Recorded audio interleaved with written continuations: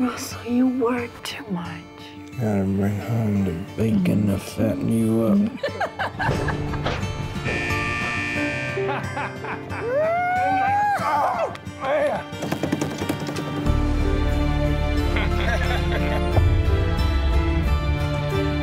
How much he loan you? Fifteen hundred.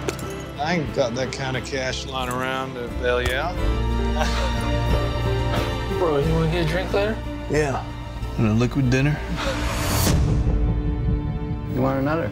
No, uh, Rodney was supposed to meet me here half hour ago. Now, why the hell you want it fired? I just need the money. You're gonna be a good boy and take a dive, or I'm not gonna have to teach you a lesson.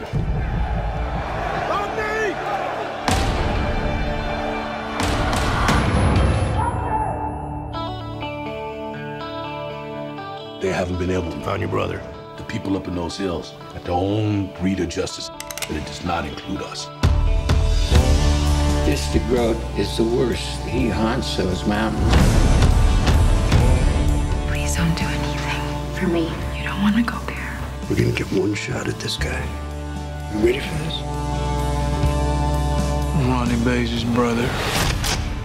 I ain't leaving without him. Forgive me my sins, O Lord. Forgive me my sins. Forget and forgive what we have been. You're a good kid with a good heart. Hey, Dad. I love you. Get up.